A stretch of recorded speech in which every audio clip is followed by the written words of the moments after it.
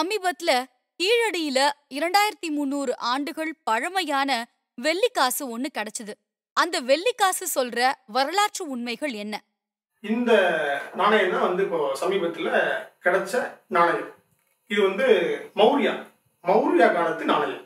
இது வந்து north Indian நாணயம் ஆனால் ஸோ ரெண்டாயிரத்தி முந்நூறு ஆண்டுகள் அதாவது இயேசு கிறிஸ்து பிறப்பதற்கு முன்பாக கிடைத்த ஒரு அபூர்வமான ஒரு நாணயம் வெள்ளி நாணயம். அது முத்திரை காசு ஓகே இந்த மகதாங்கிறது இந்த மௌரியர் பீரியட்ல இந்த மகதா நாணயம்ங்கிறது வெளியிடப்பட்டது. ஸோ இந்த நாணயம் தான் இப்போ நம்மளுக்கு கிடைச்சிருக்கு. ஸோ இதுல என்ன சிறப்புன்னு பார்த்தீங்க அப்படின்னா இதுல வந்து ஒரு ஆறு சிம்பல் இப்போ இதை வந்து சா நார்மலாக பார்க்கும்போது இதுல வந்து நமக்கு வந்து ஒரு கோடுகள் மாதிரி தான் தெரியும். இது நம்ம வந்து மைனூட்டா பார்க்கும்போது இதுல என்னென்ன படங்கள் இருக்கு அப்படின்னா எருதின் தலை இந்த இடத்துல இருக்குது. ஸோ அதை வந்து நம்ம வந்து தனியாக ரெப்ரசன்ட் பண்ணி வரைஞ்சிருக்கோம். ஸோ அடுத்து பார்த்தீங்கன்னா சூரியன். அடுத்து வந்து ஒரு நாயினுடைய வடிவம். வாழை தூக்கிய ஒரு நாயினுடைய வடிவம். அடுத்து வந்து சூரியன். அடுத்து ஆறு விதமான ஆயுதங்களை கொண்ட தொகுக்கப்பட்ட ஒரு தொகுப்பு. அடுத்து கடைசியா வந்து ஒரு மாடு. ஸோ இந்த சிம்பிள்ஸ் எல்லாமே இதுல வந்து இந்த இதுல இருக்கு. அதே மாதிரி இந்த நாணயத்தினுடைய பின்பகுதியில் வந்து ஒரு அரை வட்ட வடிவத்திலான ஒரு கோடுகள் தெரியுது. அது இல்லாமல் கொஞ்சம் பேங்க் மார்க்னு சொல்லுவாங்க. ஒரு அழிந்த நிலையில இது தெரியுது. இப்போ இந்த நாணயத்துல வந்து என்ன சிறப்பு? இது ஏன் சிறப்பா பார்க்கப்படுது அப்படின்னா நார்த் இந்தியாவுக்கும் நம்ம சவுத் இந்தியாவும் அதாவது நார்த் சைடில் மிகப்பெரிய சாம்ராஜ்யமாக இருந்த மௌரிய சாம்ராஜ்யமாக இருக்கட்டும் அல்ல எந்த டைனஸ்டியாக வேணா இருக்கட்டும். ஸோ அவங்க எல்லாமே நம்மளுடைய தமிழ் மன்னர்களோட தமிழ் மக்களோட அவங்க வந்து ஒரு வாணிபம் வச்சுருந்துருக்காங்க. ஒரு பண்டமாற்று முறை வச்சிருந்திருக்காங்க. ஒரு வணிக தொடர்புல இருந்திருக்காங்கிறதுக்கு ஒரு மிக முக்கியமான ஆதாரமாக தான் இந்த நாணயம் பார்க்கப்படுது. ஏன்னா இந்த நாணயம் வந்து பார்த்தீங்கன்னா பூமி அந்த லேயர்ல இருந்து நூத்தி நாற்பத்தாறு சென்டிமீட்டர் அடி டெப்த்ல தான் இந்த நாணயம் கிடைச்சிருக்கு. சில்வர் காயின்ஸ் ஸோ இதை நம்ம தொல்லியல் அமைச்சர் அவர்களும் அவருடைய முகப்பு நூலில் பதிவிட்டிருக்காங்க. தாய்மடி அப்படிங்கிற ஒரு தலைப்பில் இதை வந்து பதிவிட்டிருக்காங்க. ஸோ அது மட்டும் இல்லாமல் இது இதோட இடம் பார்த்தீங்கன்னா ரெண்டு புள்ளி இருபது கிராம் எடை கொண்ட ஒரு வெள்ளி நாணயம் ஸோ அப்போது இது வந்து நம்ம தமிழர்கள் வந்து அப்போவே வந்து ஒரு வாணிப தொடர்பும் வணிக தொடர்பும் ஒரு எல்லாமே இருந்திருக்கு. ஸோ தமிழ் நாகரிகம் என்பது வந்து ஒரு சாதாரண நாகரிகம் அல்ல. இது வந்து ஒரு வானதாவிய ஒரு வியாபித்த ஒரு நாகரிகம் அப்படிங்கிறதுக்கான ஒரு ஆதாரம் இந்த வெள்ளி நாணயம். இதுக்கு முன்னாடி வந்து அகரத்தில் வந்து ஒரு வீரராய பணம் சொல்லிட்டு ஒரு செவன்டீன்த் செஞ்சுரி பணம்ஸ் கிடைச்சிச்சு. ஸோ இந்த முறை பார்த்தீங்கன்னா நம்ம அகரம் அகழ்வா இது நம்ம கீழடியிலே வந்து இந்த நாணயம் கிடச்சிருக்கு. சமீபத்துல ஒரு வார இதழில் அகழ்வாய்வு அப்படின்றது ஒரு வெட்டி வேலைன்ற மாதிரி ஒரு கட்டுரையை வெளியிட்டு இருந்தாங்க அது சமூக வலைத்தளங்கள்ல பேசு பொருளா இருந்துச்சு. அந்த கட்டுரையை பத்தி உங்களோட பார்வை என்ன? நார்த் இந்தியால வந்து ஒரு நதி நீங்க கேள்விப்பட்டிருப்பீங்க ஆல்ரெடி. சரஸ்வதி நதின்னு சொல்லிட்டு. ஒரு இல்லாத நதி. அந்த நதி இருப்பதாக இவங்களா கற்பனை செஞ்சுட்டு அந்த நதியை கண்டுபிடிப்பதற்காக பலாயிரம் கோடிக்கணக்கான ரூபாயை மத்திய அரசு செலவு செய்யுது. இந்த செய்தி நீங்க பார்த்துருப்பீங்க. இது இது ஆதாரப்பூர்வமான செய்தி வெளி வந்துருச்சு.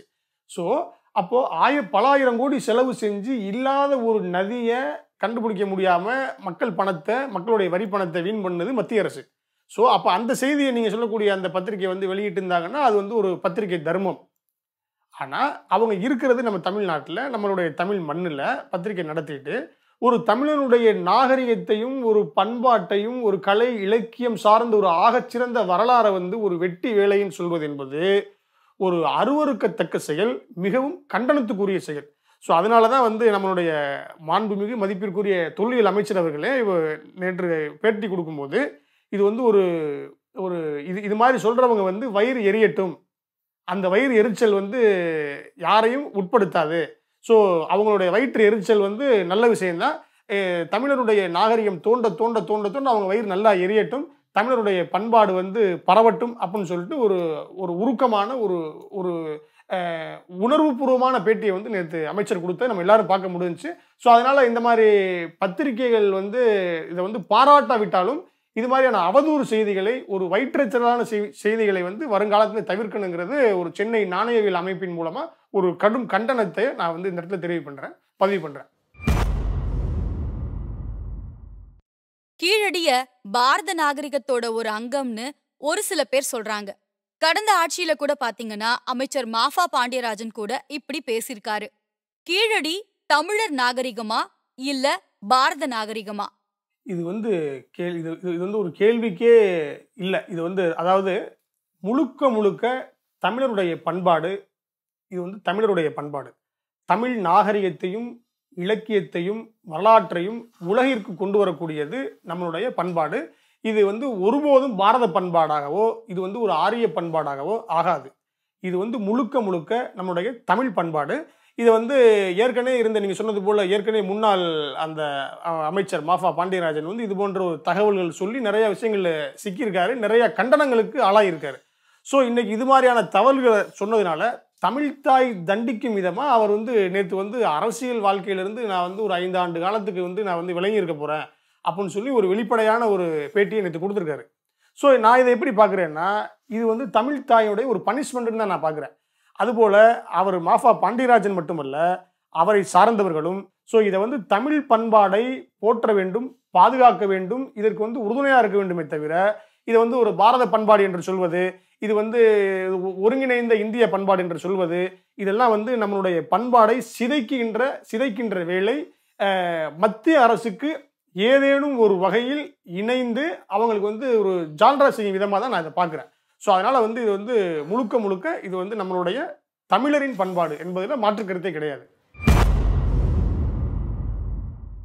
இன்னுமே பெரும்பாலான தமிழ் மக்களுக்கு கீழடியோட பெருமை தெரியாதவங்களா தான் இருக்காங்க. கீழடி சொல்ற வரலாற்று தகவல்கள் என்ன? நம்ம ஏன் கீழடிய கொண்டாடணும்? கண்டிப்பா. அதாவது கீழடியை ஏன் கொண்டாடணும் அப்படின்னா நம்மளுடைய தமிழர்களின் தாய் மடியா வந்து கீழடி பார்க்கப்படுது. நம்மகிட்ட இதுவரைக்கும் வந்து இலக்கியங்கள்ல தான் வந்து நிறைய ஒரு ஆதாரங்கள் வந்து புறநானூர்ல இருந்து சிலப்பதிகாரத்துல இருந்து மதுரை காஞ்சில இருந்து நிறைய ஆதாரங்கள் இலக்கியங்கள் இருக்குது ஸோ இப்போ நார்த்தன் சைடு மட்டும் இல்லாம இதை பொதுவா வந்து இந்த அகழ்வாராய்ச்சி எக்ஸவேஷன் பார்க்கும்போது இந்த மாதிரியான ஒரு ஆதாரங்கள் வந்து இலக்கியங்கள் வந்து ஒரு ஆதாரமாக இருந்தாலும் அது ஒரு அறிவியல் பூர்வமான கீழே அகழ்வாராய்ச்சி பூமிக்கடியில் என்ன மாதிரியான பொருட்கள் கிடைக்குது? அதோடைய வயதை வச்சுதான் வந்து இந்த மாதிரியான தொல்லியல் ஆய்வுகள் இருக்கு. ஸோ அதுல வந்து நமக்கு எந்த மாதிரியான பொருட்கள் எந்த மாதிரியான நாணயங்கள் எந்த மாதிரியான உருவ சிலைகள் கிடைக்குதோ அதை வச்சுதான் வந்து நம்மளுடைய வயதை நம்மளுடைய தொன்மையை நம்மளுடைய பாரம்பரியத்தை முன்னாடி ரொம்ப அதாவது சங்க காலங்களுக்கு பின்னாடி இன்னும் எடுத்துட்டு போக முடியும்? அதன் அடிப்படையில இப்போ கீழடியில நம்மளுடைய தமிழக அரசு நம்மளுடைய தொல்லியல் துறையின் மூலமா மிக துரிதமா கீழடி மணலூர் அகரம் கொந்தகை அப்படிங்கிற ஒரு நாலு ஆர்ஜிங் பாயிண்ட் வந்து முக்கியமான பாயிண்டா வந்து பண்ணிக்கிட்டு இருக்காங்க. ஸோ அதுல கீழடியில வந்து இதுக்கு முன்னாடி பாத்தீங்கன்னா நிறைய பொருட்கள் அதாவது பானைகள் பானை ஓடுகள் பானை மூடிகள் சில்லுகள் தாயங்கள் மணிகள் பாசிகள் இப்படி நிறைய பொருட்கள் கிடைச்சிக்கிட்டே வருது. ஸோ அதன் அடிப்படையில் இப்போ சமீபத்தில் வந்து கிடைச்ச ஒரு முக்கியமான மிக முக்கியமான பொருளாக பார்க்கப்படுவது வந்து பார்த்தீங்கன்னா நாணயம். வெள்ளியிலான பஞ்ச் மார்க் முத்திரை நாணயம் வந்து கிடைச்சிருக்கு. ஸோ இப்போ இந்த நாணயம் கிடைச்சது வந்து ஒரு மிகப்பெரிய ஒரு பொக்கிஷமாக பார்க்கப்படுது. ஸோ இது மாதிரியான நிறைய அம்சங்கள் கீழடியில் வந்து தோண்ட தோண்ட தோண்ட தோண்ட ஒரு ஒரு கொடை மாதிரி வந்துக்கிட்டே இருக்கு. இப்போ இந்த மாதிரி இப்ப நடந்து வரக்கூடிய அகழ்வாயுவில் இந்த உரைக்கிணறு இது மாதிரி முதுமக்கள் தாலி அது மாதிரி செங்கற்கற்களால் ஆன கட்டிடங்கள். இப்போது இந்த கட்டிடக்கலையும் வந்து ஒரு மிக முக்கியமான கலை. அதாவது செங்கல்ல வந்து கட்டடக்கலை இருந்துச்சு அப்படின்னா நம்மளுடைய ஏஜை வந்து ரொம்ப வந்து பின்னோக்கி கொண்டுட்டு போகலாம். ஸோ இது வந்து உலகளாவிய லெவலில் வந்து இந்த செங்கல் கட்டிடக்கலைக்கு ஒரு முக்கியத்துவம் கொடுக்கப்படுது. செங்கல்லால் ஆனது. ஸோ அதையான செங்கலால் செங்கல் கற்களால் ஆன கட்டிடக்கலை வந்து நம்ம பூமிக்கு அடியில் இப்போ வந்து நிறைய நம்ம அகழ்வாய்வில் கிடச்சிக்கிட்டு வருது. ஸோ அதன் அடிப்படையில் தான் நீங்கள் சொல்லக்கூடிய அந்த உரைக்கிணறு அந்த வடிகட்டக்கூடிய குழாய் வடிவிலான பானைகள் இதெல்லாம் பார்த்தீங்க அப்படின்னா நம்மளுடைய நவ நாகரிகம் என்பது ரெண்டாயிரத்தி இருபத்தி ஒன்றில் மட்டும் இல்லை நம்மெல்லாம் வந்து கிட்டத்தட்ட வந்து ரெண்டாயிரத்தி அறநூறு ஆண்டுகளுக்கு முன்பாகவே தமிழன் வந்து இந்த மாதிரியான விஷயங்களில் ஒரு தொழிற்கட்டமைப்பில் கட்டடக்கலையில் பொருட்களை செய்நிறுத்திய செய்யக்கூடிய விதத்தில் எல்லா விதத்திலையும் ஆகச் சிறந்தவன் உலகத்திற்கு முன்னோடியானவன் தமிழன் என்பதை நிரூபிக்கும் விதமாக தான் இந்த நீங்கள் சொல்லக்கூடிய ஒவ்வொரு பொருளுமே பார்க்கப்படுது. ஸோ இது மாதிரியான விஷயங்கள் நிறைய கிடைப்பதாலையும் தோண்ட தோண்ட அதிசயங்களும் அற்புதங்களும் அறிவியல் ஆதாரங்களும் அடுக்கடுக்காக கிடைச்சிக்கிட்டே வர்றதுனால தான் இதை வந்து கீழடியை வந்து ஒரு கொண்டாடக்கூடிய ஒரு மன மகிழ்வோடு பார்க்கக்கூடிய விஷயமா பார்க்கப்படுது.